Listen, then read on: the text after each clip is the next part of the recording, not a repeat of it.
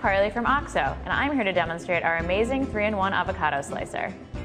This tool is great for preparing avocados because it splits, pits, and slices safely and simply. Its wide center grip makes it comfortable to hold.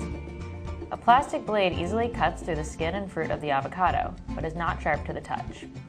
The center pitting tool lets you remove the pit with a simple twist. The hole in the back makes it easy to pop it out.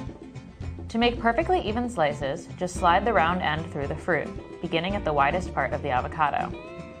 Cleanup is easy, just place the tool in the top rack of your dishwasher. Try it for your next sandwich or salad, or for making guacamole.